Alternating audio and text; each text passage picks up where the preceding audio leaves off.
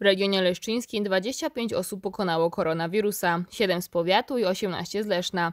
5 osób nadal jest chorych na COVID-19. W szpitalu w Poznaniu hospitalizowana jest już tylko jedna osoba. Jeden chory do zdrowia wraca w poznańskim izolatorium IKAR. Pozostali objęci są izolacją domową. Wśród osób, które pokonały koronawirusa, ale nie figurują jeszcze wśród wyzdrowiałych, jest troje mieszkańców Leszna, u których wynik wymazu dwukrotnie był już ujemny. Problem w tym, że mieszkają one z osobami, które nadal walczą z chorobą.